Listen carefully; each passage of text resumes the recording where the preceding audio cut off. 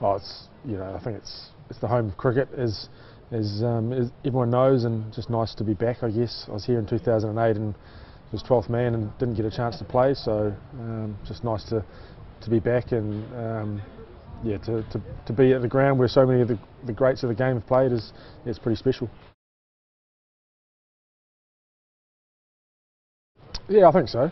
Like I said before, I think most most cricketers, you know, read and, and hear a lot about Lord's when they're when they're younger. So to, to be here and hopefully have a chance to play is, yeah, will be one of the one of the highlights of my career, definitely.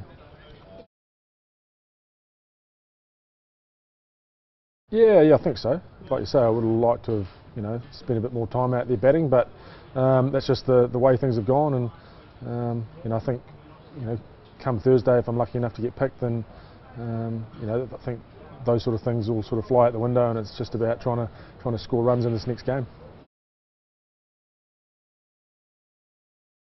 Oh, I definitely took a lot of confidence.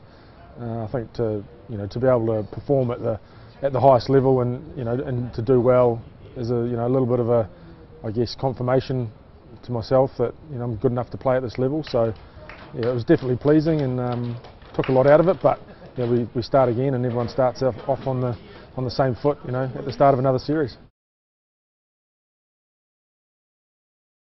Oh well, I think you know um, there's been a lot of talk back home, you know, that the conditions are going to be you know a lot different over here. So we're going to have to adapt to, the, to that if it if it does sort of I guess pan out that way. But I think James Anderson was the, pick of the bowlers in, in New Zealand, and I'm I'm pretty sure he'll be the pick of the bowlers over here as well.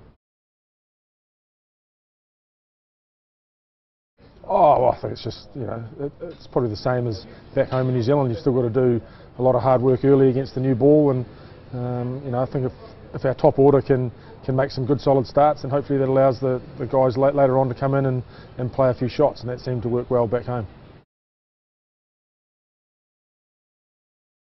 Yeah, I think there is, um, but there's just a lot of excitement in general. I think, you know, coming to to a place like Lord's, a lot of the lot of the guys never even been here, let alone played here. So I think there's just a lot of excitement, and you know, everyone's just absolutely, you know, itching to get out there on Thursday.